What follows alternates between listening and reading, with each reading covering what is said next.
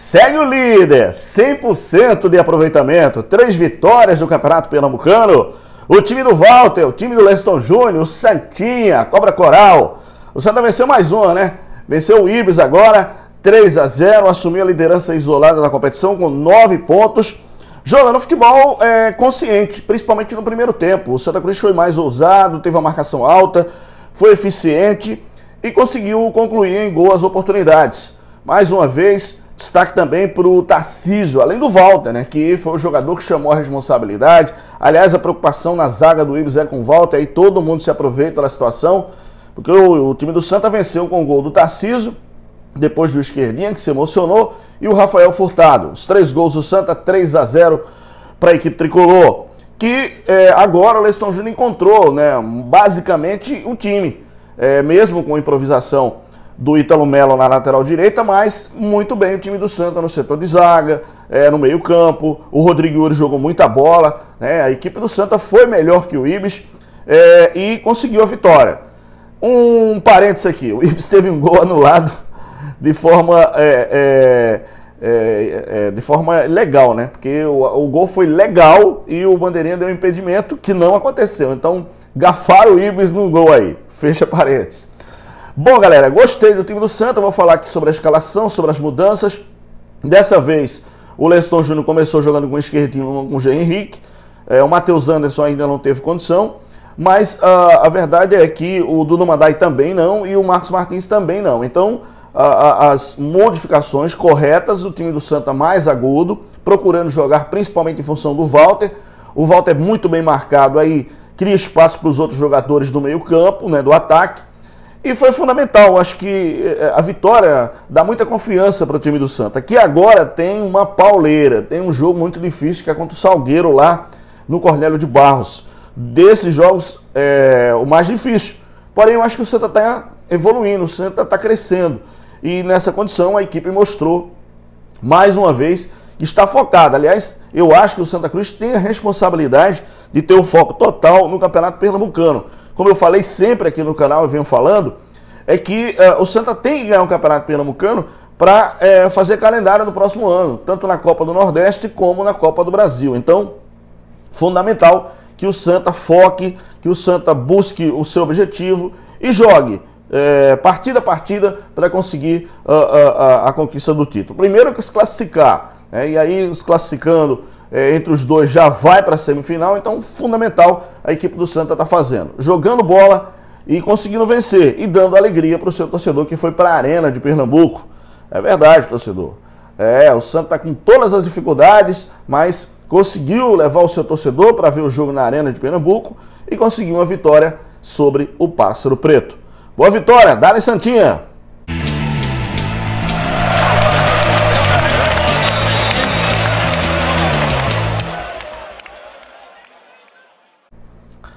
A aplicação, a determinação do time do Santa, a atitude, acho que está sendo fundamental nesses três primeiros jogos que a gente está vendo o Santa jogar. Parabéns ao Leston Júnior, está conseguindo fazer é, essa unificação no time, o time ter é, uma estrutura, marcação alta, às vezes a marcação baixa, né, às vezes marcando atrás da linha da bola, mas conseguindo os bons resultados. Vitória do Santa 3 a 0 sobre o Ibis. Galera, chega dando like aqui, o joinha, se inscreve no canal se não está inscrito, ativa o sininho, compartilha o vídeo com os amigos, deixe seu comentário, é muito importante pra gente. Desde já a gente agradece demais, escreva aqui embaixo, deixa um emojizinho, é, marque os seus amigos aí, compartilhe o vídeo. É, se você concorda comigo ou não concorda, fica à vontade aqui, o canal é nosso, você manda no canal, pode ter certeza disso. E tem um clube de membros, se você quiser se tornar, é R$ 2,99 para você ganhar prêmios. Né? A gente assistiu a semana passada, aliás, no mês passado, né? camisa do Ibis, do esporte do Náutico do Santa. Agora vão rolar camisas de clubes, e não só clubes aqui de Pernambuco, e bolas oficiais também a gente vai é, sortear para o clube de membros. R$ 2,99. Vai fazer falta nenhuma. Então, por favor, seja membro. Uh, faça como o Leonardo Santos, faça como o Carlos Júnior, o Edmilson dos Santos também, o Thiago Felipe, o Rogério de Araújo, é, faça também como o Paulo Roberto Alves, meu amigo doutor Paulo, o Thelma Aguiar, o Felipe Rosendo, o Cleiton Pernambuco, o Antônio Santos Filho, o professor Rosini, pessoal do Feras do Esporte, que tem canal no, no Instagram, no, no, no nosso YouTube, enfim. Participem. O Ronaldo Silva também com a gente aqui. Aliás, obrigado mesmo a participação de vocês aqui no clube de membros do nosso canal.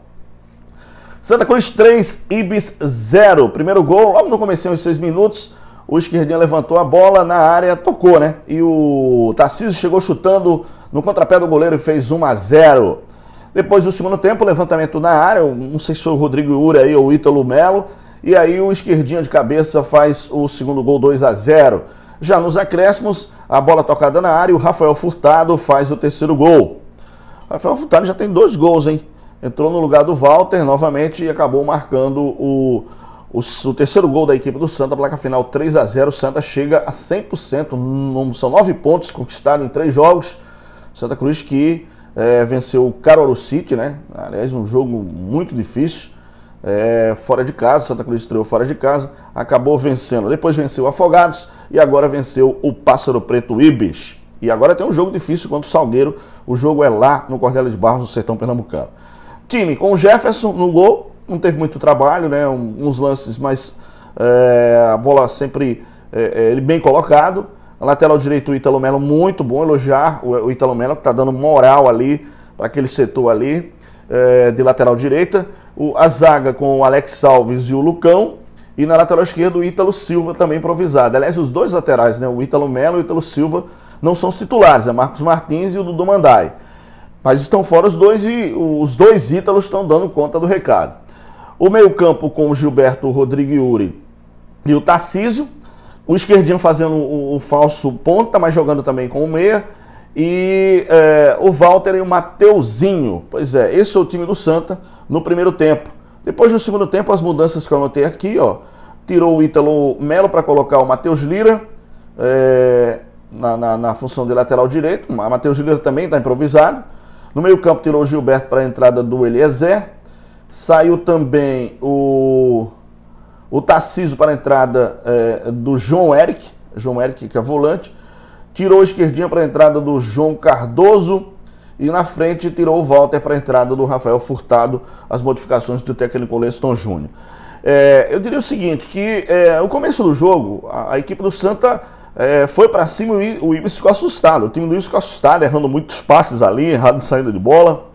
E o Santa se aproveitou e faz um gol. Quem faz um gol geralmente sai com muita moral no jogo, porque o adversário vai ter que correr atrás, vai ter que construir jogadas. E o Santa soube trabalhar essa bola, soube marcar bem.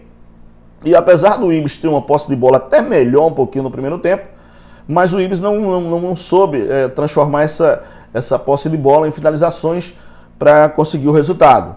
E a equipe do Santa conseguiu sair do primeiro tempo com um bom resultado e tranquilo na partida. Segundo tempo, a equipe do Santa construiu logo também no começo o segundo gol, deu mais tranquilidade para o grupo 2 a 0 mas o Ibis cresceu. O Ibis foi em busca do resultado, faltas cobradas, bolas trabalhadas no meio, porém não, não conseguiu finalizar novamente.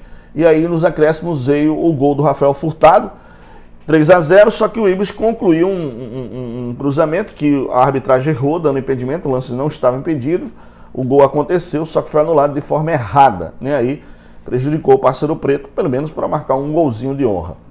Mas eu, eu tô gostando desse time do Santa e tem alguns pontos que eu vou conversar com vocês aqui.